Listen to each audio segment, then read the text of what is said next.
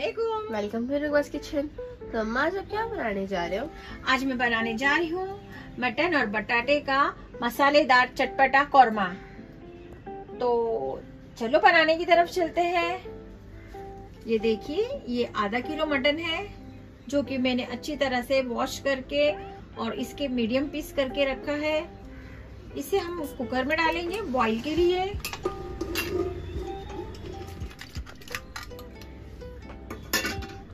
अब इसमें जाएगा टेस्ट के हिसाब से नमक,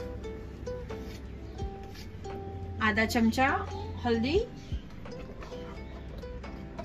मिक्स करेंगे।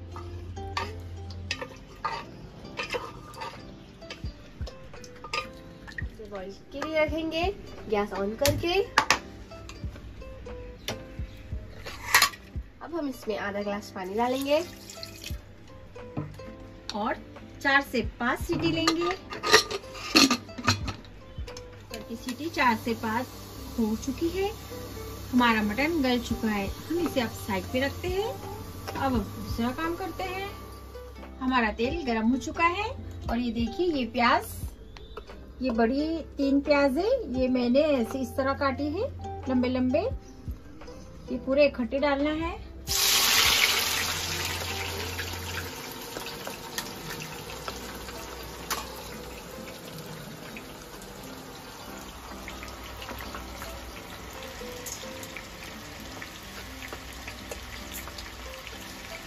फ्लेम को हाई रखना है और इसे हमें गोल्डन ब्राउन करना है। प्याज डार्क ब्राउन हो गई है। अभी हम इसे निकालेंगे प्लेट में। अब हम इसमें डालेंगे तीन बड़े चमचे ऑयल। और ऑयल को अच्छी तरह गर्म होने देंगे। तीन बड़े बटेटो कटे हुए डालेंगे। और इसे अच्छी तरह से लाइट ब्राउन करेंगे। बटाटे ब्राउन हो चुके हैं। अब हम इसे प्लेट में निकालेंगे।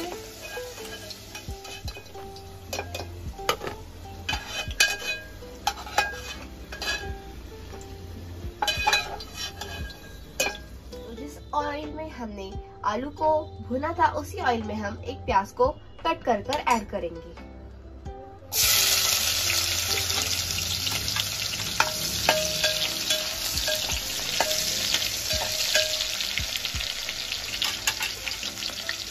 प्याज को ज़्यादा ब्राउन नहीं करना है। अब हम उसमें डालेंगे एक चमचा भर अदरक लहसुन का पेस्ट।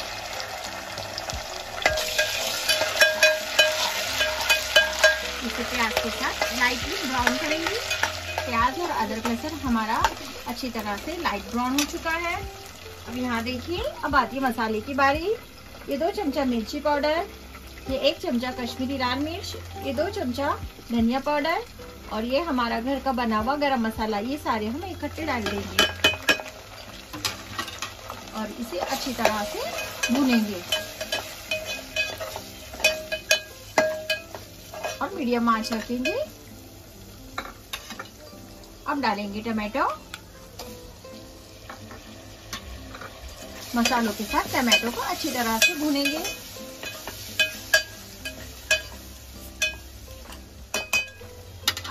इसमें आलू डालेंगे और इसे भी मसालों के साथ अच्छी तरह से भूनेंगे।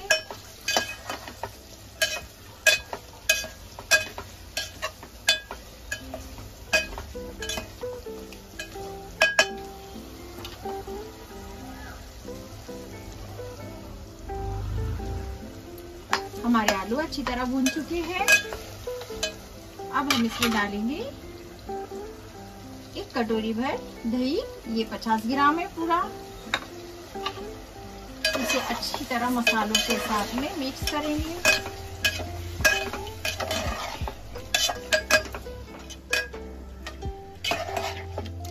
हमारा मसाला अच्छी तरह से भून चुका है। देखिए, मसाले ने ऑयल भी छोड़ दिया है। अब हम इसमें डालेंगे बॉईल किया हुआ मटन। ये पूरा इकट्ठा डाल देंगे एक साथ में। और इसे अच्छी तरह से मसालों के साथ मिक्स करेंगे।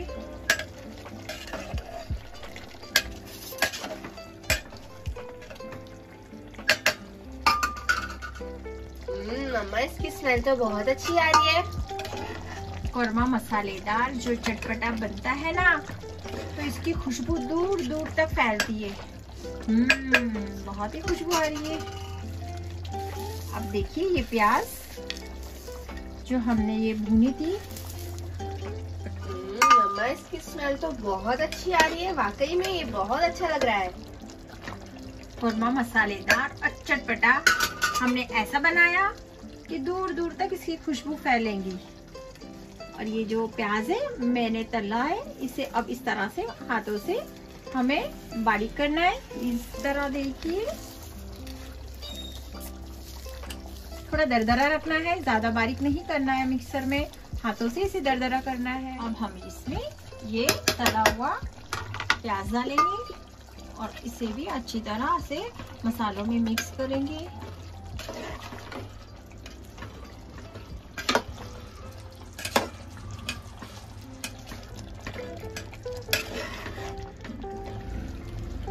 टेस्ट के हिसाब से हम नमक डालेंगे।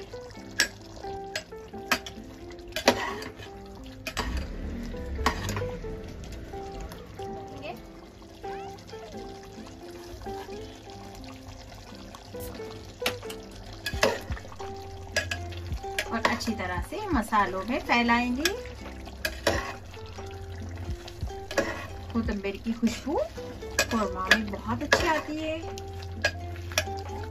हमारा कौरमा लगभग बनके तैयार है। अब हम इसे प्लेट में सर्व करेंगे। हमारा मसालेदार खुरमा बन के तैयार हो चुका है। देखिए कितना लाजवाब और शानदार लग रहा है। और खाने में भी बहुत टेस्टी है। आप ज़रूर ट्राई कीजिए और मुझे कमेंट्स करके बताइए कि कैसा बना। Mama so excited to eat this really मुझे इसे टेस्ट करना है कि कैसा बना। मम्मा, चावल रेडी करो प्लेट में, मुझे जल्दी से इसे खाना है। गाइस कमेंट्स करके बताना कि आपको ये डिश अच्छी लगी या नहीं? मुझे पता है आपको ज़रूर अच्छी लगेगी। आप इसे ट्राई करोगे ना, मुझे पता है। ये ज़रूर ट्राई करना, ये बहुत ज़्यादा डिलीशियस डिश है।